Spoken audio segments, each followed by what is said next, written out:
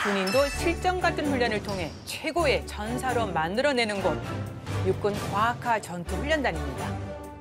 머무르면 뒤처지는 것이다. 육군 과학화 전투 훈련단이 더 강력한 미래를 준비했습니다. 4차 산업혁명 시대에 발맞춰 미래 과학화 훈련 체계를 확립해 갑니다. 최고의 전투 전문가를 양성하는 전사의 요람 육군 과학화 전투 훈련단과 함께합니다. 국방에 대한 모든 것 국방 포커스.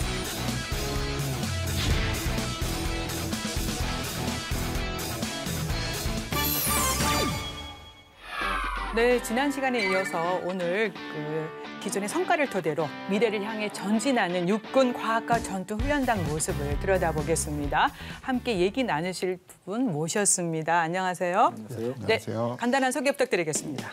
안녕하십니까. 아, 과학과 전투훈련단 단장 이진우 준장입니다. 안녕하십니까. 조선일보에서 국방부를 28년째 담당하고 있는 유용호입니다. 아, 지난주에 굉장히 반응이 좀 좋았습니다. 그래서 이번에도 또 한번 네. 또 반응이 좀 뜨거울 것 같습니다. 좀 잘좀 부탁드리겠습니다. 네. 1, 2부 이거 정말 오랜만이거든요. 맞습니다. 네네. 예. 어깨가 무거워지는데. 네, 오늘도 KCTC의 모든 것을 또 들여다보겠습니다. 최근 들어 한반도의 안보 환경이 더욱더 급변하게 변화하고 있고요. 4차 산업혁명 이 변화 속도가 또 빠르게 또 변화하고 있기 때문에 우리가 이제 이런 얘기를 합니다. 이게 무슨 안보와 관련돼서 패러다임이 변화하고 있다. 패러다임의 대전한 시대를 맞았는데요. 유 기자님, 네. 이런 시대에 우리는 어떠한 안보 위협을 조금 더 신경 써야 될까요? 네. 우리 교수님 말씀하신 이제 4차 산업혁명이 미래전 양상을 바꿀 게임 체인저로서 네. 역할을 할 것이다. 이런 아, 얘기들을 많이 하고 있죠. 그 작년에 사실은 그렇게 많이 큰 주목을 받지 못했지만 그 아르메니아하고 아제르바이잔이 전쟁을 했었습니다. 음. 네. 근데 그때 좀 뜻밖의 그런 결과가 나왔는데 아제르바이잔이 승리를 했어요. 음. 근데 거기서 큰 역할을 한 게 뭔지 아십니까? 어? 아제르바이잔의 승리 주역. 드론. 네. 그러니까 네. 우리가 사실은 그쪽 아, 아제르바이잔 국민들께는 좀 죄송한 말씀이지만 음. 그, 그, 그 나라에서 음. 이 드론 같은 첨단 무기를 활용해서 전쟁에 승리했다. 잘 매치가 안 되잖아요. 사실은. 사실은 예. 예상치 못했었습니다. 예를 들어 뭐 미국이라든지 네. 유럽 뭐 이런 선진국이 음, 안으로 알려져 있는 나라가 네. 아니기 때문에 또 군사적으로 이렇게 강국도 아니고요. 그런데 아제르바이잔이 보면은 이제 터키에 이제 바이락타르라든지 이런 무인기들을 도입을 해서 예, 운용을 했는데 이 무인기들이 아르메니아의 뭐 전차라든지 장갑차라든지 이런 기관 무기들을 막 격파했고 이런 격파하는 영상들이 또 유튜브라든지 이런 걸 통해서 거의 실시간으로 알려지기도 했습니다. 그래서 결과적으로 하여튼 아제르바이잔이 승리를 하는데 네. 역할을 했고 많은 전문가들이 야 그러면 이제 드론이 음. 먼 미래에 뭐 역할을 하는 그런 존재가 아니고 실제로 아, 전쟁의 양상을 음. 바꿀 수 있는 이런 시대가 됐구나 가까워졌구나 이거 네. 이제 피부 와닿는 그런 상징적인 아, 사례가 됐고요. 마침 우리 KCTC에서도 그 훈련한 영상을 보니까 올 들어 훈련한 게 육사단 표산여단인가요?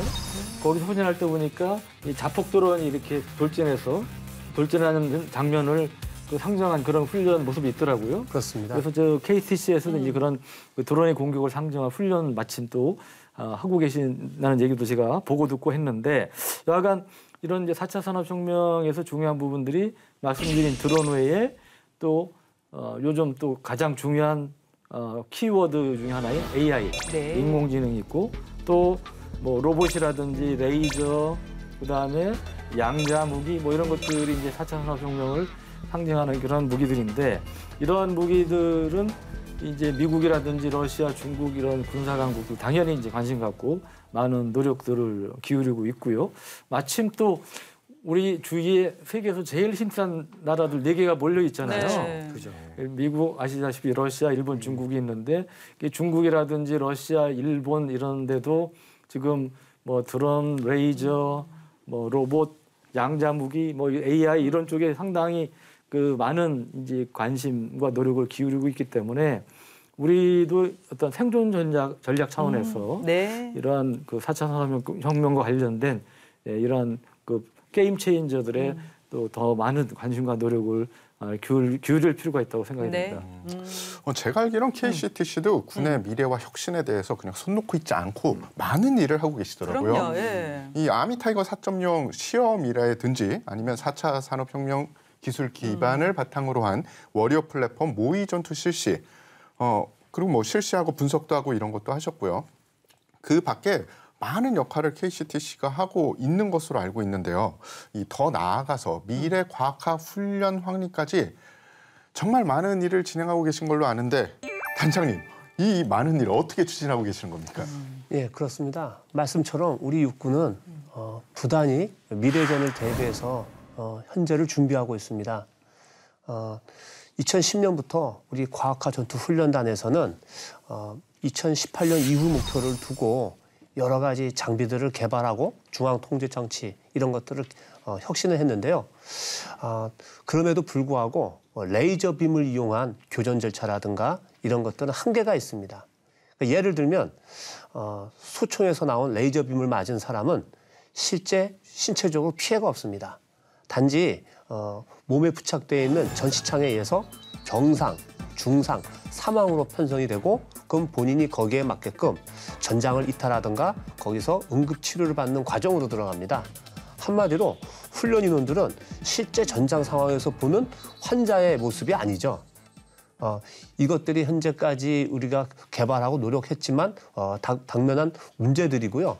이것을 4차 산업혁명 기술을 잘 접목하면 어, 현재 우리 어, 과학기술이 5G 기반의 AR, VR, 또 홀로그램과 같은 어, 가상현실 이런 것들이 응용이 될 수 있습니다. 네. 이것들을 적용하게 되면 어, 예를 들어 전투원들의 고구를 통해서 보는 모든 주변의 상황은 중상자는 실제 피를 흘리는 모습으로 쓰러져 있는 모습 그리고 어, 공격을 받은 전차가 불타는 모습 이런 것들이 다 그래픽으로 동시에 보게 됩니다. 그렇게 되면 어, KCTC 훈련에 참가하는 인원들이 정말 실전 상황과 같은 경험을 하면서 보다 몰입할 수 있는 기회가 되겠습니다. 이를 위해서 우리 육군은 어, 예산을 편성하고 어, 관련된 어, 새로운 IT 기술을 접목하기 위하여 관련된 그 분야를 연구하고 추진하고 있는 상황입니다. 네. 어, KCTC 미래전에 철저하게 대비하고 있습니다. 지금 앞서 유 기자님이 말씀해 주셨습니다. 지난해 9월 중순입니다. 카프카주에 위치한 두 나라 아제르바이잔하고 아르메니아 간에 오랜 그 민족 갈등 전쟁이 이제 벌어졌었는데 그 당시 이제 드론이란 첨단 무기, 비대칭 전력을 활용해서 어, 정밀화된 전쟁 그 양상을 우리가 지켜볼 수 있었습니다. 뭐 말씀해 주신 대로 아제르바이잔이 압도적인 승리를 했는데 그 승리 요건에는 이렇게 아, 첨단화되고 고도화된 신기술을 이용했다는 것인데요. 어, 근데 비단 이거는 뭐 그 두 나라에만 국한되는 것이 아닙니다. 이제는 어, 기존의 생각을 뛰어넘는 첨단 기술전이 지금 시작이 됐다. 이거에 철저히 대비해야 된다. 이렇게 할 수 있지 않겠습니까? 맞습니다. 정말 네. 그 이제 요즘 전쟁 양상이 제가 이제 보던 공상 과학 영화 네. 그 현실이 되어가는 그런 느낌이에요, 사실. 미래에 정말 어떤 이 전쟁이 어떻게 이루어질까. 그러니까 제가 좀 상상을 해보면 아이언맨 슈트가 진짜 개발돼서 막 AI랑 얘기를 하고 뭐 이렇게 렌즈를 끼면 홀로그램이 나오고 막 이런 게 좀 이루어질까요? 어떻습니까? 제가 너무 과하게 가는 겁니까? 아니 우리 저 황님 씨께서 정확하게 말씀해 주셨는데요. 어, 그래요? 아니 이게 영화가 현실이 되는 일이 점점 늘어나고 있어요. 아. 이 가깝게 이제 지난 3월에 아주 미국에서 흥미로운 발표가 있었는데 그 마이크로소프트사 다 아시죠? 네네, 네. 알죠. 예, 유명한 소프트웨어 회사 아닙니까? 네네. 근데 이 마이크로소프트사가 이제 무기를 아주 뭐그뭐 총과 총포 같은 무기가 아닌 다른 차원의 새로운 차원의 무기를 미국 펜타곤에 예, 납품을 하기 시작했는데요. 이게 뭐냐면 그 미 육군의 이제 홀로렌즈 기반의 그 AR 증강 현실 헤드셋을 얼마치를 납품하느냐? 무려 218억 8천만 달러. 우리 돈 하면 24조 6,800억 원. 어, 정도 되는 그 엄청난 프로젝트의 사업인데 이런 그 육- 미 육군에 이제 공급하는 계약을 체결했다고 해서 이제 화제가 됐었는데요. 네. 당시에 이제 마이크로소프트 사는 뭐라고 그랬냐면 향후 10년 동안에 아, 미 육군의 마이크로소프트의 HoloLens 어, 기술과 클라우드 어, 컴퓨터 기술에 기반한 AR 헤드셋을 에, 공급키로 했다. 그리고 본격적인 생산 단계에 이미 진입했다 이런 이제 발표를 했다고 합니다. 근데 이 그 마이크로소프트의 AR 헤드셋은 에, 미 육군이 이제 작전 수행 중에 첨단 기술을 에, 활용을 해서 예, 상황 인식을 향상시키고 다양한 시나리오에 대한 그 정보를 공유한다든지 그다음에 뭐 지휘관들의 의사 결정이 가능하 가능토록 하는 이제 그런 시스템이고요. 보병들은 당연히 이제 이걸 통해서 많은 정보를 얻을 수 있는 거죠. 그래서 이거를 이- 이게 이제 일부에서는 훈련용으로만 알려져 있는데 자- 실제로는 훈련용 외에 실제 작전할 때도 이제 활용할 수 있는 이러한 이제 특징이 있는 거고 아까 영화가 현실이 됐다 된다고 말씀드렸는데 이제 한국군의 경우도 이런 장비를 도입할 수 있는 시기가 아주 가까운 시일 내는 뭐 쉽지 않겠지만 머지않았다 네. 아, 이렇게 생각이 됩니다. 와, 네. 이제 아이언맨 헬멧이 진짜 현실이 될 수도 있는 그 네. 지점까지 온 것 같네요, 진짜. 와. 네, 4차 산업革命 기술이 접목되면서 이제 그 전쟁의 양상이 바뀌고 있는 건 사실입니다. 지금 이제 드론 전투 체계 이제 예를 들어 본다면 우리 군 사실은 이 부분에 대해서 전력화는 지금 진행 중이잖아요. 그렇습니다. 그런데 이제 주변에서 아직 운용 개념까지는 좀 더 발전해 가야 되지 않겠느냐 이런 얘기를 합니다. 네. 그래서 이제 첨단 기술전에 이제 대비 태세를 갖추고요. 또 첨단 무기 체계 전력화를 위해서는 KCTC 역할이 그야말로 막중하게 중요한 시점이 아닐까 싶은데 그럼 어떻게 대비를 하고 있는지 단장님. 네. 네.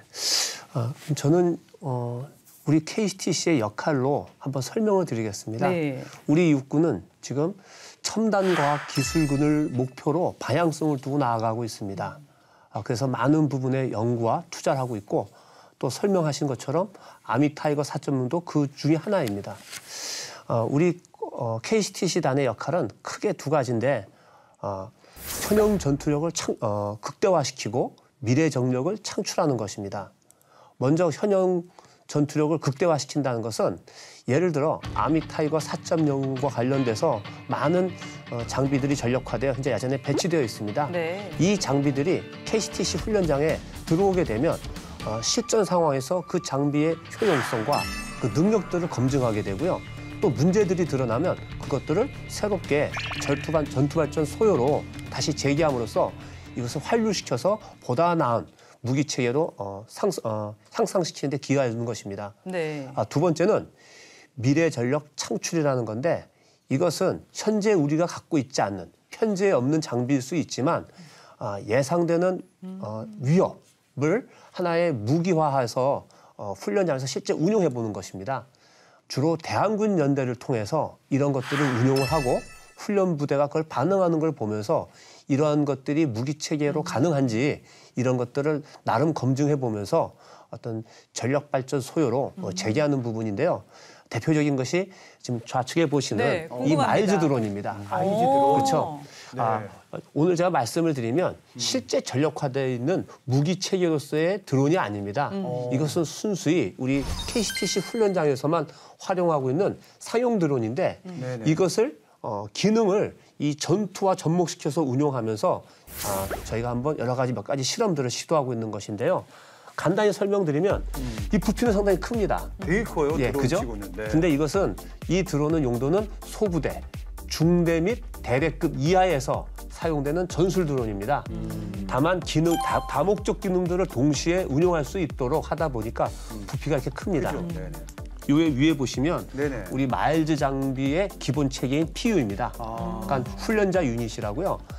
어, 감지가 되면 나의 모든 정보들이 어, 교정 같은 결과들이 종합이 돼서 중앙통제본부로 보내지는 역할을 하는 거죠. 네. 요 아래에는 이제 발사 장치인데 레이저를 발사하는 것인데 오 늘 가져온 이 장비는 어, 폭격 을 묘사하기 위한 드론입니다. 네. 미사일도 이렇게 딱. 아 미사일은 아니고요. 그냥 뭐 폭탄이 투하되는 폭탄이 거죠. 거. 예. 현재 이것을 금년도에 실제 대한군 연대 음. 측에서 훈련 부대를 대상으로 상, 어, 실제 적용을 해보고 운용했습니다. 대단하다. 많은 것들이 도출이 되죠. 예. 훈련을 하면 할수록 최초에는 어, 우리 훈련 부대들이 당황합니다. 아 이게 뭐지? 그래서. 반응을 못 합니다. 근데 이제 사람이 진화하듯이 훈련 부대도 진화합니다. 아, 이게 나한테 피해를 주고 공격을 하는구나 하게 되면 반응을 하죠.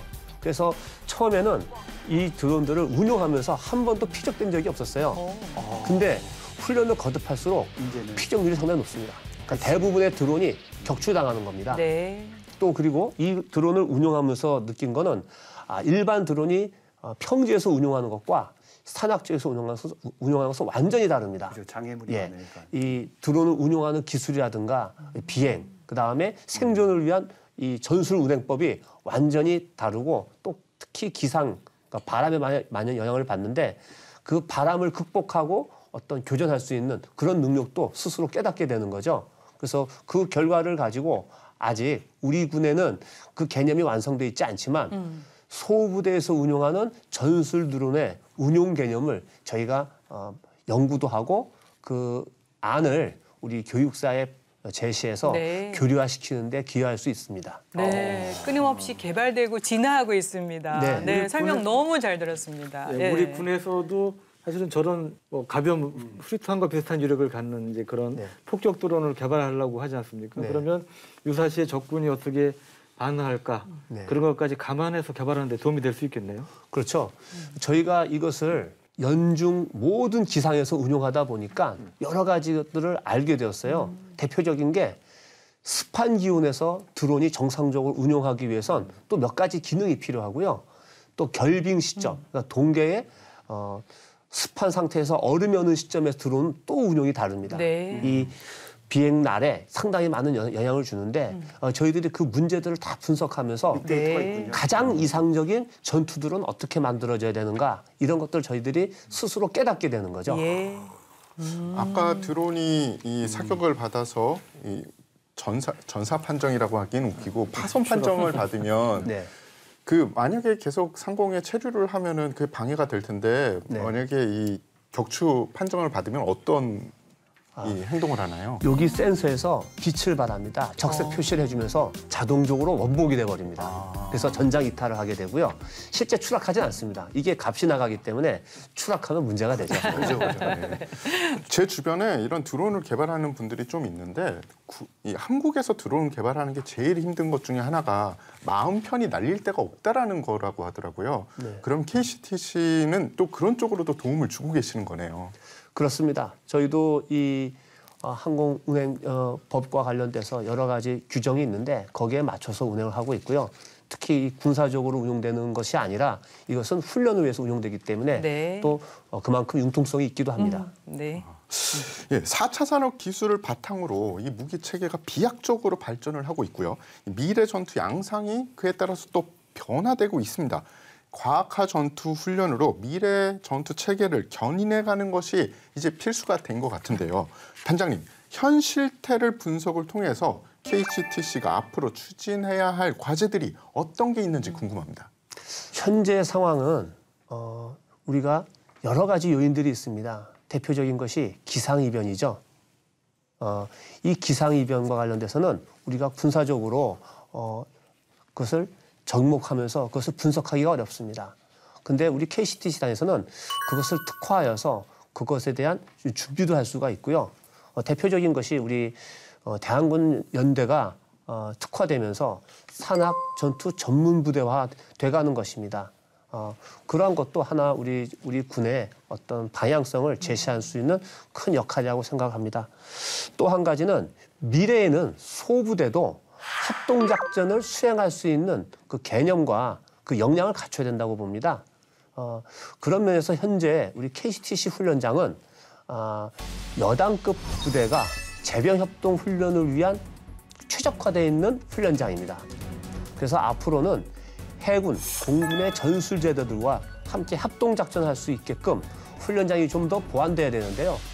어, 육군은 이에, 이에 맞춰서 KCTC 훈련장 발전 방안에 대한 어, 연구 소요를 지금 재개할 예정이고요. 네. 국방부에서는 2023년도에 국방부 종합훈련장 계획에 우리 KCTC 훈련장 발전 방향에 대한 분야도 어, 반영해서 또 현재 연구 개발할 예정입니다.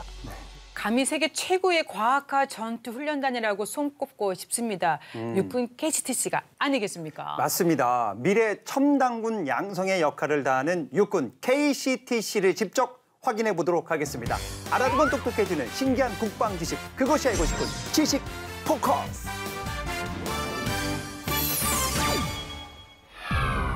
안녕하십니까. 다이어트 지식 포커스. 오늘의 포커스는 4차 산업혁명에 따른 급격한 기술 발전은 전장에도 커다란 변화를 가져왔으니 AR과 VR 혼합 현실 기술을 이제 전투 훈련으로 구현하는 시대라고요?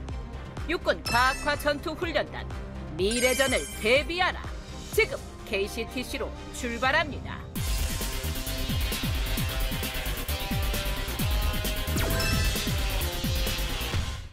(2020년 9월 27일) 아제르바이잔과 아르메니아 간에 벌어진 전쟁 이때 아제르바이잔이 터키에서 수입한 TB2 공격 드론으로 압승을 거두는데요. 이를 통해 인류는 한 가지 교훈을 얻습니다. 이제 기존 재래식 무기와 전투 수행 방식에서 벗어나 누가 더 변화하는 안보 환경에 따라 새로운 작전 개념과 신규 무기 체계를 잘 운용하느냐가 관건. 이에 미래전을 대비한 실전적인 과학화 훈련 체계 발전이 필요하다는 목소리가 높아지고 있습니다. KCTC는 과학기술 발전과 안보 환경의 변화에 발맞춰 드론과 차륜형 장갑차 등 첨단 전력을 과학화 전투 훈련에 적용하며 차세대 과학화 전투 훈련 체계 구축을 위한 노력을 이어가고 있는데요. KCTC 훈련에 참가한 모든 장병들이 실전과 가장 유사한 환경에서 육군의 첨단 전력을 직접 운용하며 미래 전장 환경을 체험할 수 있는 훈련 환경을 조성하고 있습니다. 뿐만 아니라 매 전투 훈련 간 면밀한 사후 검토를 통해 각 무기 체계에 대한 개선과 전투 발전 소요도 꾸준히 제기하며 육군의 전력 개선으로 이어지도록 현용 전력 극대화는 물론 미래 전력 창출에도 선도적 역할을 하고 있습니다. 급변하는 안보 환경과 과학 기술에 발맞춰 미래 승리를 보장할 수 있는 차세대 과학화 전투 훈련 체계를 구축하고자 다양한 노력을 기울이고 있는 KCTC. 그 일환으로 전투원 개개인이 5G 기반의 가상, 증강현실 기술을 적용하는 통합형 헬멧을 착용해 보다 생생하고 현실적인 전장 환경을 경험할 수 있도록 발전시켜 나가는 것은 물론 100% 사격 효과를 구현하기 힘들었던 기존의 레이저 기반의 교전 훈련 체계를 대신해 데이터 기반의 전자기파 펄스를 활용한 교전 장비 기술로 전투 훈련의 정확성을 한층 더 끌어올릴 전망입니다. 또한 훈련에 참여한 모든 전투원의 위치, 사격, 피해 정보 등 과학화 장비를 통해 원천 데이터를 다양한 사용자들이 실시간으로 활용할 수 있는 클라우드 기반의 빅데이터 플랫폼을 구축함으로써 미래 전장 승리의 원동력을 마련할 계획입니다. 앞으로 다가올 미래 전장 환경의 핵심 전력으로 우뚝 설 KCTC. 급변하는 안보 환경에 가장 최적화된 핵심 미래 전력으로 대한민국의 미래전을 책임질 KCTC를 응원합니다. 육군 과학화 전투 훈련단 파이팅! 지금 저희가 논의하고 있는 4차 산업혁명 기술 이게 기술 속도가 너무 빠르게 변화하고 있기 때문에 그에 발맞춰서 무기 체계 전력화도 해야 되겠고요. 또 전투 훈련 장비 마일주 이 전력화가 또 반드시 수반돼서 이루어져야 되는데 어, 유 기자님 개발부터 전력화 완료될 때까지 정말 시급한데 이거는 어떻게 해야 되겠습니까? 네, 그 중요한 지적을 하셨는데요. 사실 이게 그대로 우리 신무기들이 계속 나오고 있는데 거기에 맞춰서 딱딱 우리, 뭐- 우리 마일즈 훈련 체계가 나오는 게 안타깝게도 아니고요. 네. 그래서 이제 부족한 부분들이 좀 있는데 예를 들면 그 K14 우리 저격 용소총 국산으로 만든 게 있는데 이런 거 등등 개발해서 이런 거 등등을 포함해서 이 마일즈 미개발돼 있는 게 제가 알기로 한 17개 정도가 된다고 그래요. 네. 그래서 적지 않은 숫자고 또 현재 이제 육군 연대가 여단으로 이제 바뀌는 사실은 어떻게 보면 큰 엄청난 변화가 창군일의 최대의 변화 중에 하나라고 저는 생각이 되는데 이런 여단 편제로 바뀌면서 워낙 큰 변화다 보니까 이게 뒷받침이 안 되는 부분들이 좀 나오는 거죠. 네. 그래서 여단 편제 무기 체계 중에 16종의 말지 장비가 좀 부족한 걸로 그렇게 알려지고 있는데 여기에는 이제 뭐 어, 군수 지원 대대라든지 포병대라든지 뭐 그다음에 뭐 차량 장갑차 정보 자산 뭐 이런 것들이 이제 포함되어 있다고 합니다. 그래서 이러한 저 실제 이제 전투 묘사라든지 아니면 데이터 기반한 뭐 과학화 전투 훈련 체계 이러한 것들이 사실은 제가 말씀드린 이러한 부분들이 좀 비어 있으니까 네. 아무래도 좀 제한이 되는 부분이 있겠죠. 그래서 이제 그런 부분들은 좀 어, 우선적으로 좀 보완할 필요가 있지 않나 생각이 네. 듭니다. 계속해서 문제점이 또 발견되면은 또 보완해야 되고 또 신기술하고도 접목하려는 노력은 더더욱 이루어져야 될 것 같습니다. 네. 현재 사용 중인 무기 체계 MILES 전력화나 이 훈련 부대 쌍방 훈련을 위한 MILES 장비 확보는 어떻게 추진이 되고 있습니까, 단장님? 앞서 우리 유원 지원께서 말씀하신 것처럼 저희가 어, 여단급 현재 장비 100%를 어, MILES 장비로 연동시키지는 어, 시키지 못하는 상황입니다. 아, 그 원인으로는 이 연대급 여단급 훈련 체계로 어, 준비를 2010년부터 시작했는데 그 당시에는 약 2014년, 15년 정도의 전력화되는 장비를 기준으로 해서 마일즈 장비를 개발하고 수요를 갖고 있었어요. 근데 아시다시피 정말 짧은 시간 내에 많은 새로운 기술이 등장하면서 네. 보다 많은 장비들이 어, 개발이 되고 전력화되어 버렸습니다. 그래서 2021년도 현재는 계획된 것보다 훨씬 많은 장비들이 어, 야전 부대에 배치되면서 그 수요를 현재 마일즈 장비 체계로는 감당하기가 어려운 거죠. 그래서 지금 이 관련돼서 적용되지 못하고 있는 그런 장비들에 대한 어, 추가 장비 개발을 어, 육군에서는 예산을 반영해서 소요를 제기하고 연구 중에 있습니다. 예, 참고로 미래 전투 체계가 장비 위주로 부대 개편이 되다 보면은 이 기계화 부대의 과학화 전투 훈련 참여 필요성이 더 커질 텐데요. 이 기계화 부대 전투 훈련은 잘 진행되고 있는지 좀 궁금하고요. 네. 이 현재 전투 훈련 장비의 전력화 어, 필요한 부분이 있다면 좀 팍팍 밀어줬으면 좋겠는데 단장님 어디까지 와 있습니까? 현재 우리 그 KCTC단엔 여단급 부대가 들어오게 되면 네. 평균적으로 그 이하의 작전 통제가 돼서 대대급 기계화 부대가 들어옵니다. 그래서 실제 우리 훈련장에서 기계화 부대가 훈련을 하고 있고 이 산악 지형에서 어, 관련된 전술에 대해서 어, 분석과 그 검증을 받고는 있습니다. 다만 저희가 지금 나아가고 있는 Army TIGER 4.0에 관련돼 있는 이런 기동화, 네트워크화 이런 여러 가지 요소와 관련돼 있는 장비들이 전력화돼서 야전에 나가 있는데요.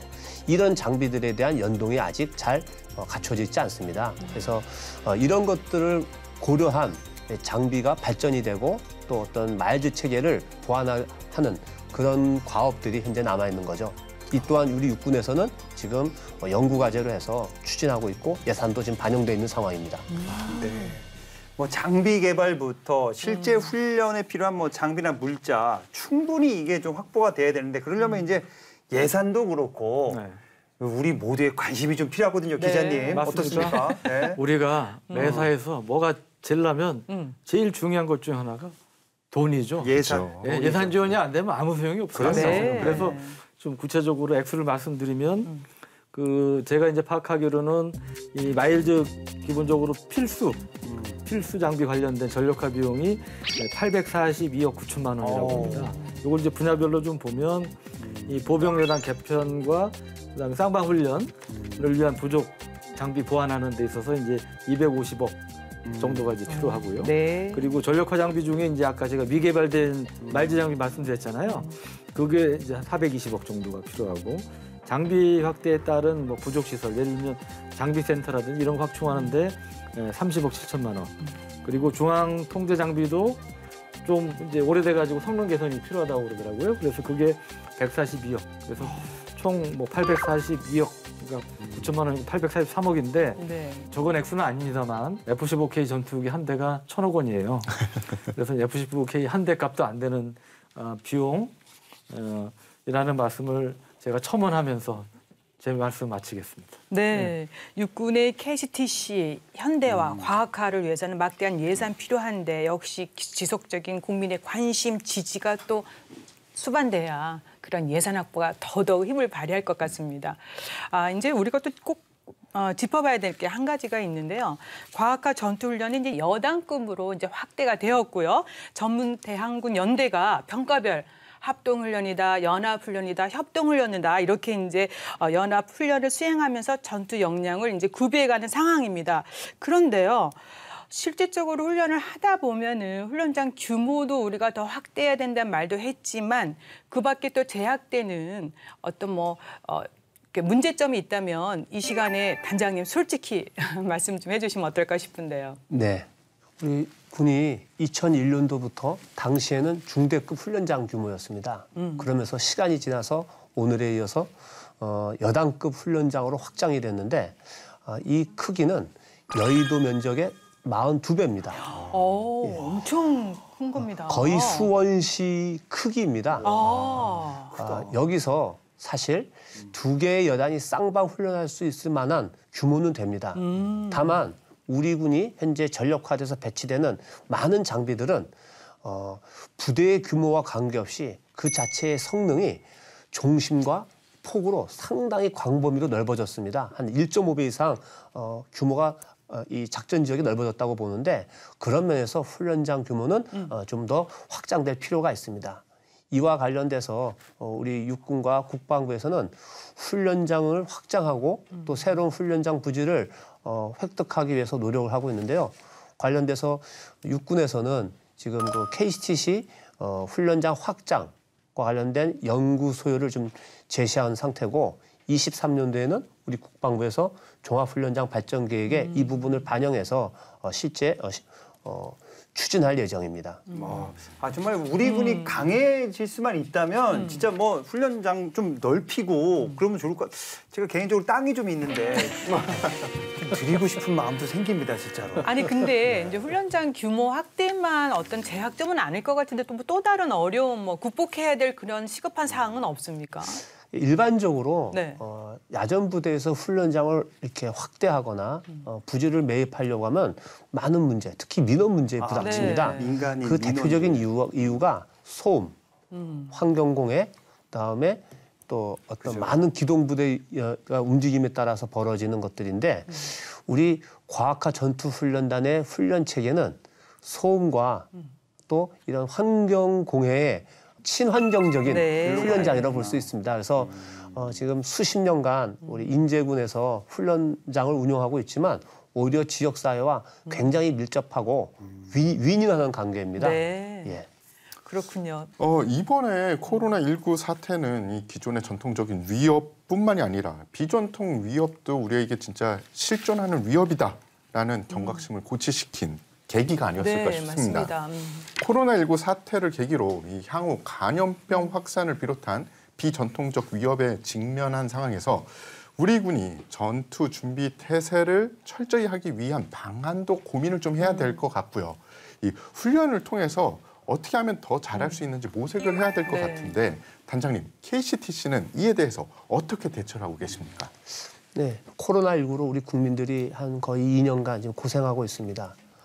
하지만 우리 KTC 훈련장은 어, 그 기간 중에도 계속 정상적인 훈련을 실시해 왔습니다.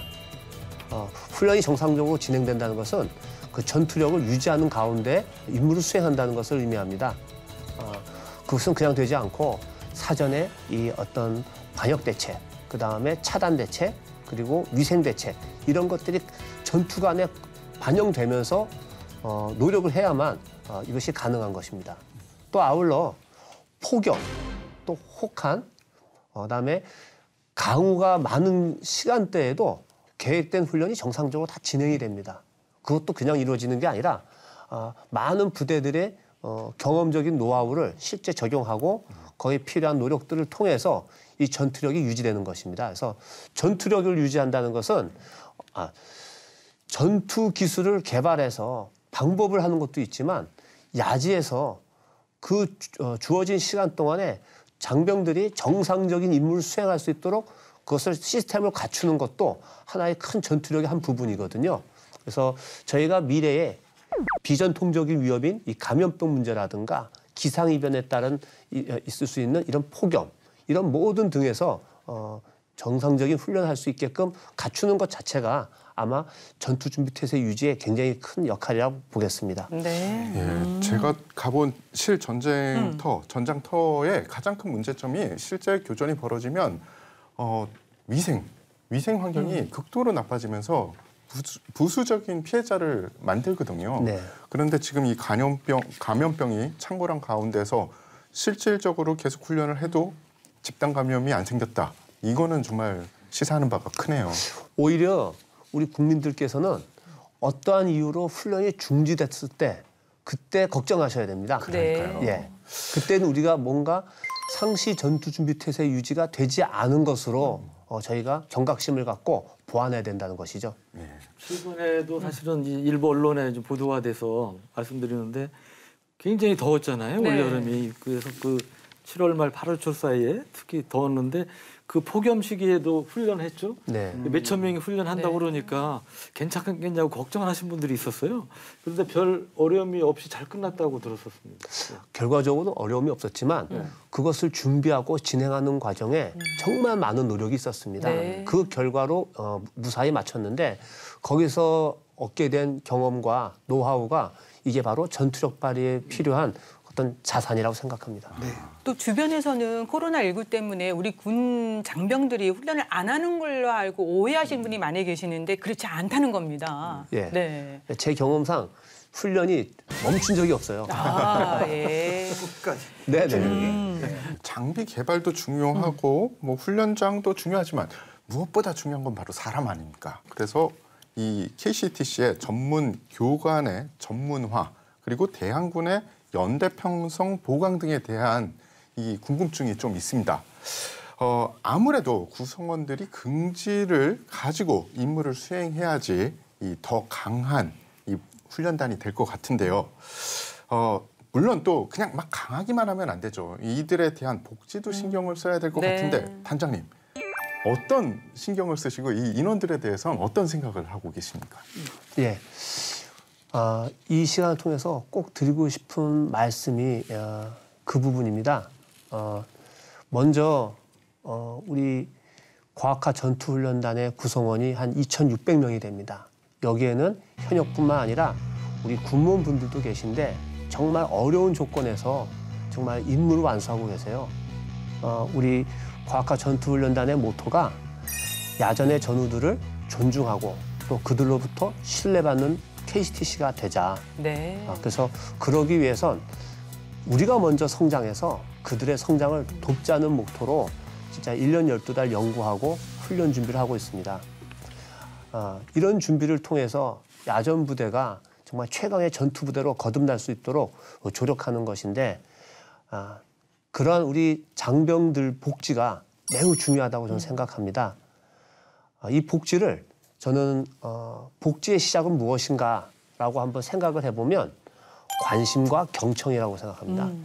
누군가 관심을 가져야 아, 문제를 알게 되고 거기에 대한 대책으로 복지가 향상된다고 생각하는데요.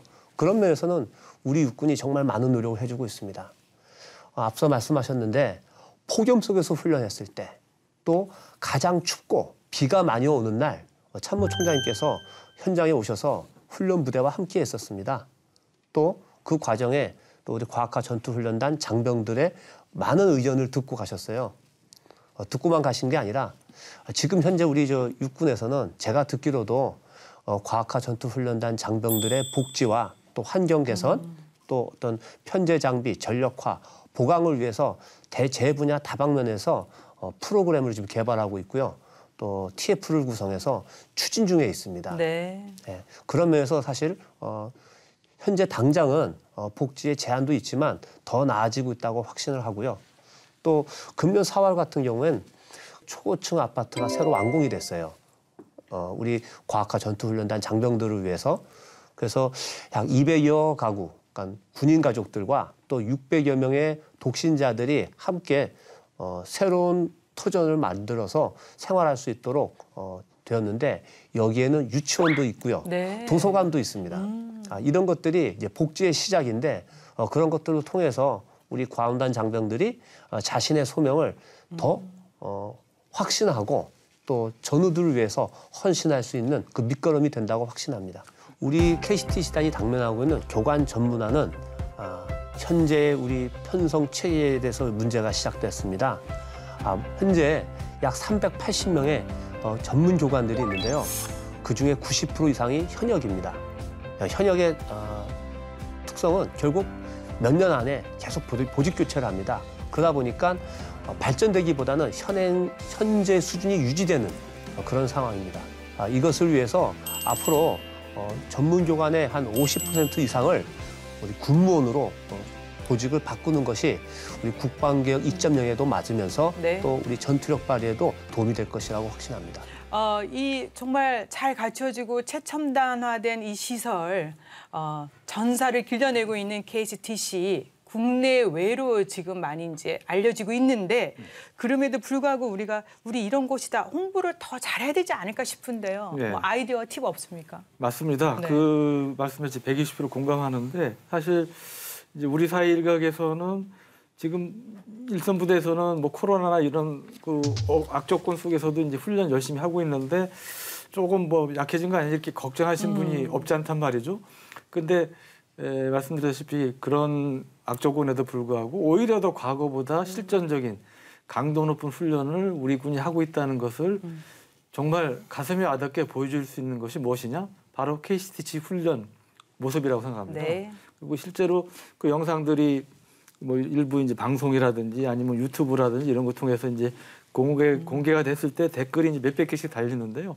거기에 보면 그 부대 출신들 예를 들어 뭐 삼사단 백골 부대 출신 그 삼사단 훈련한 영상이 올라오면 이제 옛날 추억부터 해가 쭉 댓글 달아주시고 그러는데 아 제대로 훈련하는구나 이제 그런 인식들을 많이 이제 댓글로 달아주세요. 그래서 네. 그런 면에서 우리 군이 사실은 국민의 군대로 자리 잡는 데 있어서 제일 중요한 게 국민의 신뢰 아니겠습니까? 음, 네. 그럼 이런 국민의 신뢰를 얻는 데 있어서 가장 저는 효과적인 제 이름을 그대로 쓰자면 유용한 네. 예, 그 홍보 수단이 될 수 있는 게 저는 그 KCTC 훈련 모습에 생각합니다. 그래서 저는 그런 것들을 사실은 육군 차원이 아니고 국방부 차원에서 적극적으로 좀 알릴 필요가 있다 이런 생각이 듭니다. 네, 물론 제가 이 또- 말씀드리면 예. 혹시 이제 KCTC 할 일이 늘어나서 특히 저 앞에 저 공보장관님도 계신데 할 일이 늘어날까봐 좀 부담을 가지실지는 모르겠습니다만 저는 적극적으로 할 필요가 있다 이렇게 생각이 안 듭니다. 그래도 아까부터 얼굴이 점점 하얘지고 안? 좋아지게 해주세요. 뭐 이런 말씀 어떠시면 제가 홍보 대사를 좀 하면 어떨까? 네. 아유, 좋네요. 아이고, 좋습니다. 정말 환영합니다. 네. 해보겠습니다. 네. 이제 앞으로 또 계획된 훈련 있지 않겠습니까? 그렇습니다. 또 훈련에 들어올 부대들에게 네. 조언을 해주신다면 어떤 말씀을 해주고 싶으신지요? 네. 앞으로도 계속 많은 부대들이 들어오게 됩니다. 모든 부대들은 관심이 KCTC에서 어떻게 하면 전갈 부대를 이길 수 있는가 라는 데 초점을 많이 두고 있습니다. 네. 어, 제가 이 자리를 통해서 말씀드리면 우리 과학화 전투훈련단은 어떻게 보면 어, 스파링 파트너 또 플레잉 코치 이지 어, 싸워서 우리 훈련 부대를 이기려고 구성된 부대들이 아닙니다. 어, 그래서 처음부터 어, 훈련 부대 상급 부대에서 이 여단을 어떻게 훈련시켜 달라는 것을 어, 저희가 요청을 받고 그걸 디자인해서 거기에 맞게끔 운용되는 부대들입니다. 네. 그래서 그걸 꼭 신뢰하시고 제일 무엇보다 중요한 것은 어, 먼저 우리를 알아야 됩니다. 아, 훈련 부대 전우들을 서로 알고 아, 우리가 강점이 뭐고 무엇이 약한지를 알고 들어오시는 게 제일 급선무입니다. 그 다음이 어, 상대하는 전문대항군 연대라고 생각합니다. 이상입니다. 네. 정신 바짝 차려라 이런 얘기죠. 정리하자면 제가 해외 이 파병 훈련장을 가보면 정예 부대랑 정예 부대 아닌 부대가 이 훈련을 대하는 태도가 다르더라고요. 네. 좀 정예 부대가 아닌 부대는 결과에 연연을 하고요. 네. 정예 부대는 우리의 부족한 점을 찾으러 오는 겁니다. 네. 그래서 오히려 훈련 시에 많은 부족한 점이 드러나면 네. 지휘관이 오히려 더 좋아하는 걸 봤어요. 저것만 고치면 되겠구나. 네. 이런 게 좋은 마인드 아닌가 그러니까 싶습니다. 약점을 강점을 만드는 거죠. 그렇죠. 네. 지금 모든 지휘관들이 어, 저희 KCTC단이 요구하는 것은 딱 한 가지입니다.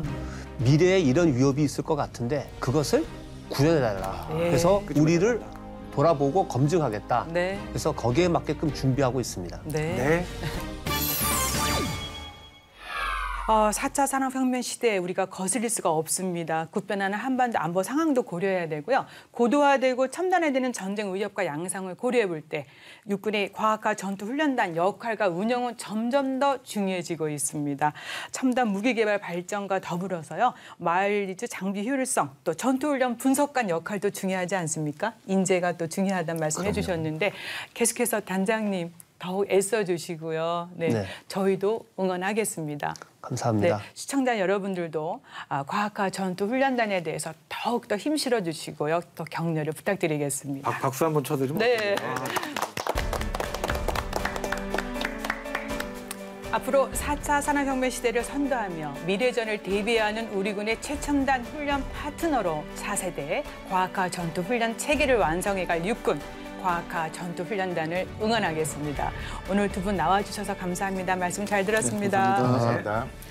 국방에 대한 모든 것, 국방 포커스 오늘 여기까지입니다. 저희는 다음 시간에 다시 찾아뵙겠습니다. 고맙습니다. 감사합니다. 감사합니다.